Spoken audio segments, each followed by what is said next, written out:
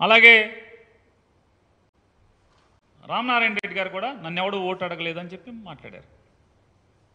ఇరవయో తారీఖు అసెంబ్లీలో రామనారాయణ రెడ్డి గారు నన్నే నాని ఆయన సీట్లో ఆయన కూర్చుని విశ్వరూప్ గారి బెంచ్లో నేను విశ్వరూప్ కూర్చుని ఏదో మాట్లాడుకుంటుంటే నాని ఒకసారి ప్రసాద్ రాజును పిలువు అని చెప్పారు.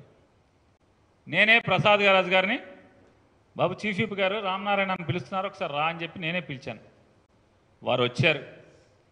ఇరవయో తారీఖు సభకు హాజరవ్వమని విప్పించారు కదా. అందుకోసం వచ్చాను. నాకు వేరే పని ఉండి వెళ్తున్నాను. మాక్ ఓటింగ్ నేను పాల్గొనట్లేదు నీకు చెప్దామని నేను పిలిచాను అని చెప్పి చెప్పారు. నేనే సాక్ష్యం.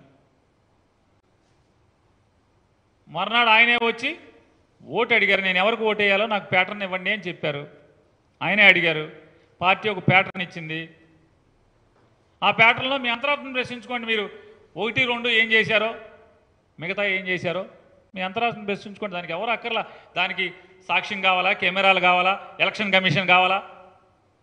రాజకీయాల్లో అంతరాత్మే కదా. మీ అంతరాత్మ మీకు సమానం చెప్పుకోండి.